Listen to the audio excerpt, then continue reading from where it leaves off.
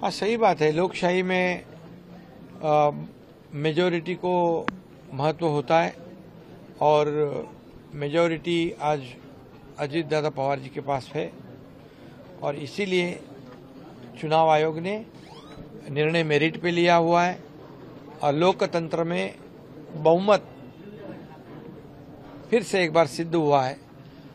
ये मेरिट के ऊपर निर्णय है और निश्चित रूप से महायुति आज राज्य में काम कर रहे मैं अभी कहा है कि राज्य में जो जन, जनता ने जो मौका दिया है वो इस राज्य के विकास के लिए इस राज्य में जितने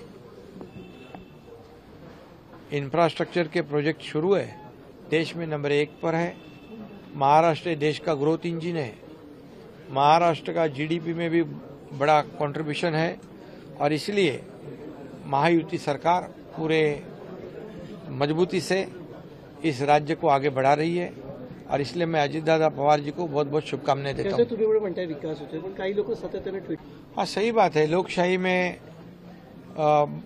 मेजोरिटी को महत्व होता है और मेजोरिटी आज अजीत दादा पवार जी के पास है और इसीलिए चुनाव आयोग ने निर्णय मेरिट पे लिया हुआ है और लोकतंत्र में बहुमत